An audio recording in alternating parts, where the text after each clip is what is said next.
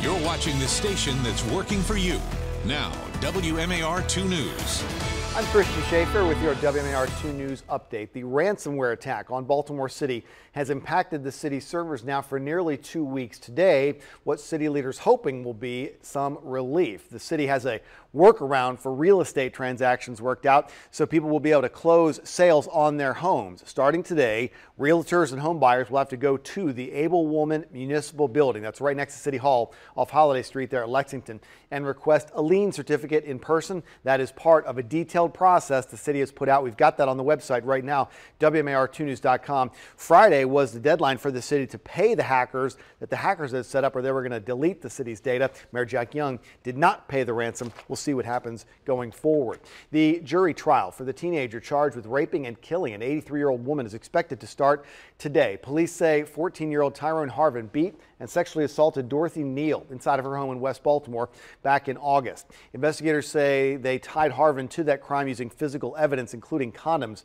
found at the scene. Police say Harvin initially denied knowing the woman, but then told police that he had taken out her trash in the past. Harvin has denied involvement with that crime. A new record for the Preakness Stakes. It was nearly $100 million bet on the 144th running of the race. That amount tops the record from 2017, which was around $97 million.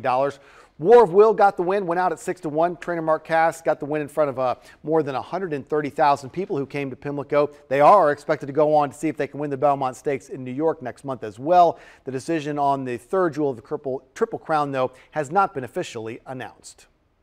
Now, from WMAR 2 News, Maryland's most accurate forecast. All right, it's going to be a hot and humid day on tap. We do have the muggy meter up there on this Monday as the muggies are going to continue in the 60s as we go throughout the day. We're also going to be dealing with some change behind this cold front. Some drier air will work its way in here. But before that happens, we will continue to be in the warm sector. So those temperatures will continue to rise, the dew points as well. Going to be dealing with some stormy conditions possible as we go into the afternoon. The timing on the storms, uh, 2 to 7 o'clock this evening, and the biggest threats will be damaging wind and hail if those thunderstorms do come to fruition severe.